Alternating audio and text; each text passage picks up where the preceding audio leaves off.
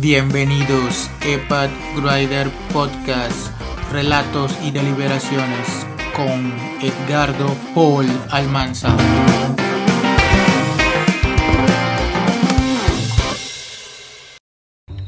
Eran como las 7 de la mañana, leía la prensa y tomaba una taza de café colombiano, el mejor del mundo. El café estaba delicioso y mi perro Cookie meneaba su cola. Mi vida estaba bien, el clima estaba bien, la vecina estaba muy buena, en fin, todo parecía perfecto. Recogí unas cosas que vi en el piso. Por un momento pensé que eran facturas, pero de inmediato recordé que nadie sabía sobre mi nueva dirección, así que miré bien y no era más que publicidad de cursos vacacionales. Me asomé por la ventana por si tenía la suerte de ver a mi vecina. Es una mujer suela, es todo un bomboncito. Ayer por la mañana alcancé a verle en camisón y hace unas noches también pude verla en Baby Doll. Debe gustarle que la vean. Es una exhibicionista. Es, es más, por mi ventana se puede ver de todo. Bien, así que eché también un par de miradas para ambos lados de la calle, pero todo estaba desierto. Bueno, nada que ver, definitivamente. Volví a echarle un ojo a la prensa y también un buen sorbo de café. A mí me gusta puro y caliente. ¡Hijos de puta! Sentí que mi lengua se chamuscaba. La taza, con platito y todo, cayó al piso. Tosí varias veces hasta que se me salió algo de café por la nariz. Sí, el café estaba caliente, pero no fue eso lo que me estremeció. Maldita sea, me dije. ¿Qué es lo que estoy viendo? En la parte inferior de la página estaba la maldita noticia. El escritor Charlie González es indicado de pertenecer al brazo político de la manta separatista Vasca ETA. Se encontraron documentos y propaganda subversiva en su apartamento. Pero ¿qué diablos era esta mierda? Tiré el periódico. ¿En qué diablos estaba metido ahora?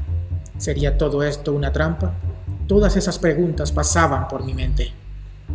Los malditos periodistas habían puesto una de esas fotos mías ya ustedes saben. En la mano derecha estaba ella, una de esas pequeñas mujeres con las que a veces salgo, ustedes me entienden. Y en la otra mano, mi mejor compañía, una botella de whisky. Ahí quedé inmortalizado. Bueno, creo que al fin y al cabo era una buena foto. Cogí el teléfono y marqué un número. Willy. Charlie, ¿eres tú? Por Dios, ¿dónde diablos estás? Maldita sea, busca a Doberman.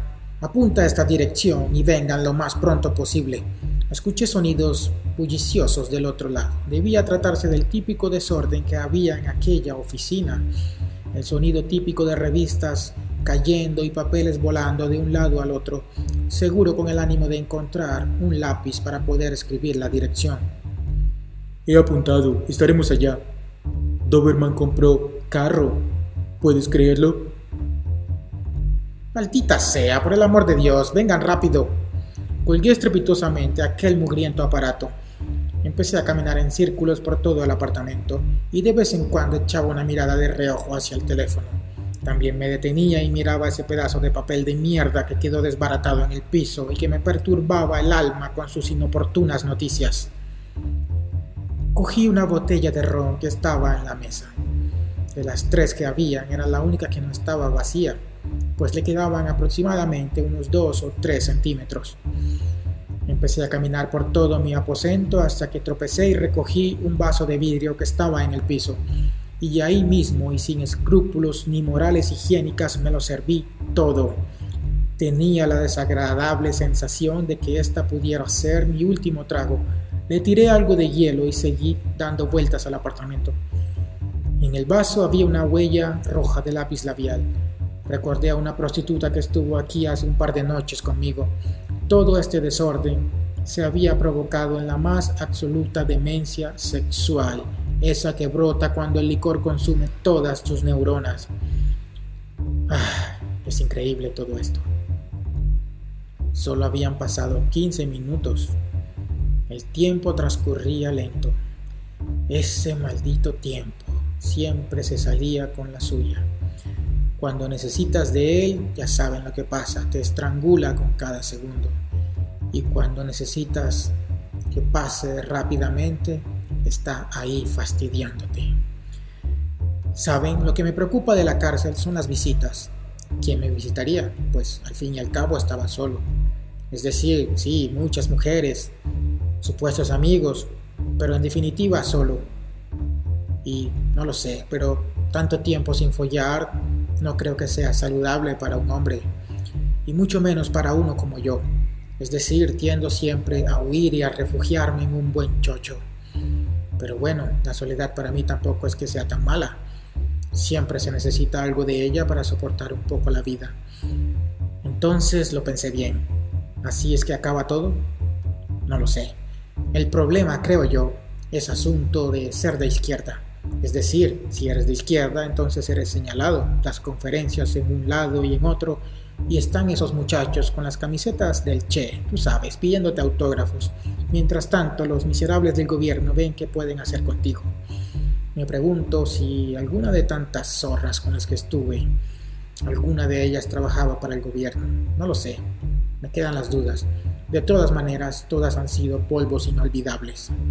Me pegué otro trago. Lo sentí dulce y celestial. Fue entonces cuando golpearon la puerta.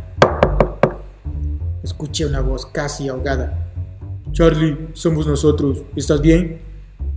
Entreabrí la puerta y los condenados empujaron y entraron, es decir, casi que me pasan por encima. Sus saludos se limitaron a un vago gesto con la cabeza y me mostraron una botella de whisky. Antes de cerrar pude ver un coche parqueado al otro lado de la acera. Algo destartalado, pero no estaba nada mal, sobre todo si conocías al dueño. Recuerda suscribirte y seguirme. También comparte con tus amigos en redes sociales y pronto más episodios, no te los pierdas.